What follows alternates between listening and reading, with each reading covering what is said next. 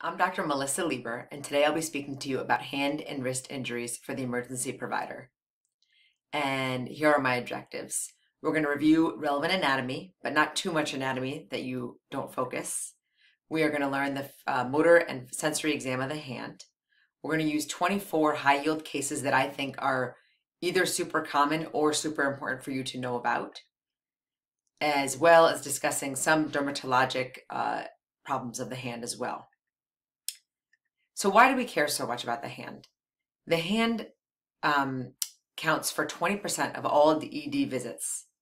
That's a lot of visits with people coming in for either dermatologic problems or hand injuries.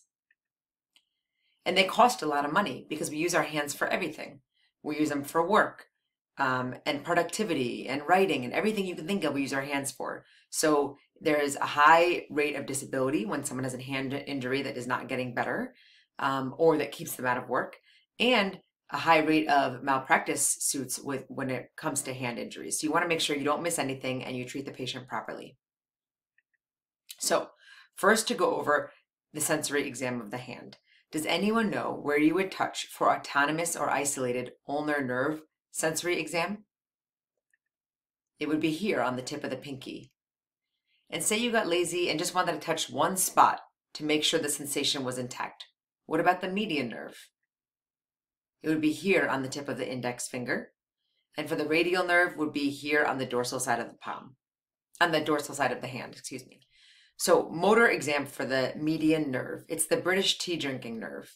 So when you hold a teacup and pretend to drink it, that would be uh, the muscles that you use for your motor exam of the median nerve.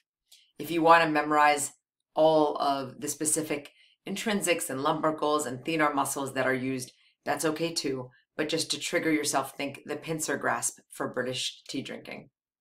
And if you have a damage to the median nerve, what kind of hand or what is the hand called when you damage the median nerve? It's called the hand of benediction or also the ape hand. So when you want to test the median nerve motor exam, you want to test opponens pollicis and the anterior interosseous nerve, which is an isolated motor nerve branch off the hand. And so which of these, when you look and you have an, a lesion of the anterior interosseous nerve, which of these two hands is abnormal?